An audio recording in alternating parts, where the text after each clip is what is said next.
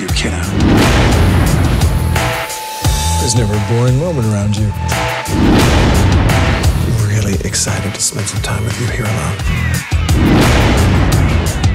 It's beautiful. You just want to get laid.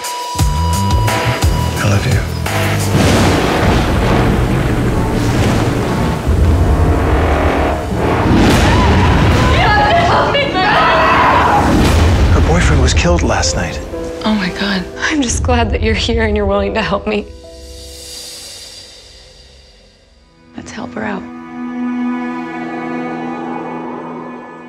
You have everything great career, I'd love to be an actress.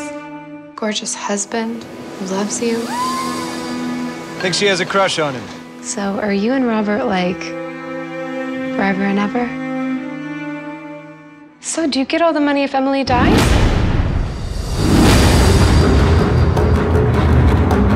She could be dangerous. How do you know if she's telling the truth?